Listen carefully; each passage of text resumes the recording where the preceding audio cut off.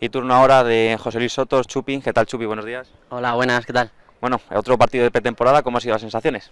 Buenas, eh, la verdad que las sensaciones durante la- toda la pretemporada están siendo muy buenas. Un empate contra una primera federación y tres victorias eh, con buenas sensaciones. Yo creo que las sensaciones son bastante positivas. Imagino que también en lo personal contento de poder ayudar al equipo en, en los goles, aunque siempre mirar más por lo colectivo que lo individual. Sí, está claro que al final colar un gol siempre es una alegría, además si es para ayudar a, a ganar el equipo. Y nada, contento por, por la pretemporada que se está haciendo, por poder aportar mi granito de arena y por, por lo que estamos haciendo todos. Quería preguntar por eso, por la pretemporada que se está haciendo, porque el equipo está dejando muy buenas sensaciones y encima hoy contra el Alcorcón, un, un equipo de nuestro mismo grupo y nuestra misma liga. Sí, yo creo que desde el primer entrenamiento estamos muy enfocados en que lo importante era ganar todos los partidos, fuese contra quien fuese, de la categoría que, que fuese.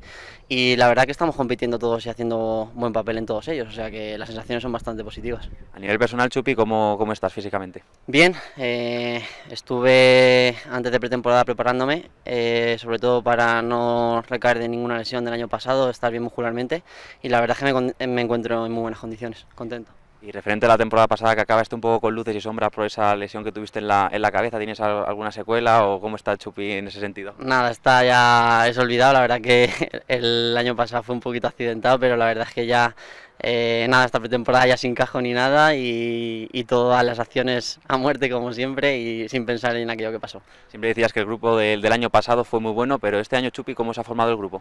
La verdad que la gente que ha venido, con lo que había el año pasado, es gente espectacular. Eh, el año pasado éramos una piña, este año creo que la estamos volviendo a formar y muy contento con todas las personas que han venido y, y a seguir así.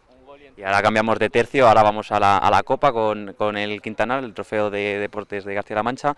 ¿Cómo, ¿Cómo lo afronta el equipo? Porque imagino que, que querrá seguir en la, en la competición para seguir cogiendo sensaciones. La idea que nos da Mister es la de salir allí a ganar. Al final también es una competición ya oficial y existe una rivalidad especial también con el Quintana, o sea que vamos a ir allí a, a ganar el partido. Bien, muchas gracias, Chupi. Nada, gracias a ti.